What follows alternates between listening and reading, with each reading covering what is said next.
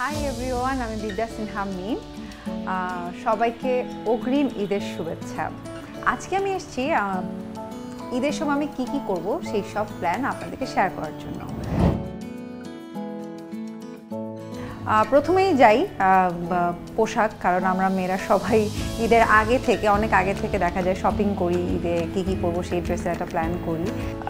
দুই তিনটে ড্রেস পরা হয় মানে প্ল্যানিং থাকে। কারণ সকালবেলা উঠেই দেখা যায় আমি সবসময় পছন্দ করি কটনের মধ্যে, কারণ যেহেতু বাসায় থাকা হয় এবং রান্নাঘরেও একটু সময় দেই এবং দুপুরের দিকে হয়তো অন্য একটা কালার পরা হয়, একটু গর্জিয়াস এবং রাত্রে যেমন এখন যেটা পরে আছে এটাও আমার একটা ঈদের ড্রেস সো এটা হয়তো রাতে পরবো।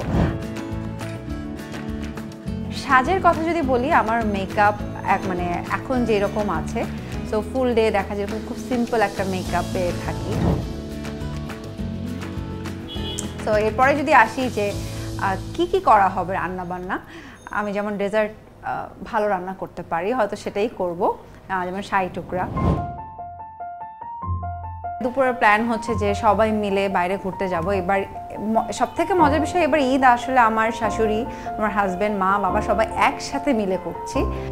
নর্মালি ঈদের দিন সন্ধ্যায় যেটা করা হয় স্পেশালি মুভি দেখা হয় আপনারা সবাই অলরেডি জানেন মিশন হানডাউন তো আমার ফ্যামিলির সবাই আসলে খুবই এক্সাইটেড এবং হয়তো আমাদের প্ল্যান যে আমরা ঈদের দিন তো শেয়ার করলাম, হয়তো ঈদের পরের দিন, এটা একটা প্ল্যান যে আমরা সবাই মিলে একসাথে বসে মানে একদম টানা এই সিরিজ দেখে শেষ করব। সবাইকে আবারও অগ্নিমীদের শুভেচ্ছা। সেই সাথে সবাই প্লিজ আমাদের মিশন হ্যান্ডাউন দেখবেন এবং জানাবেন যে কেমন লেগেছে। আর অবশ্যই হইচই তো করবেনই তো হইচইয়ের সাথে থাকুন। ঈদ মোবারক।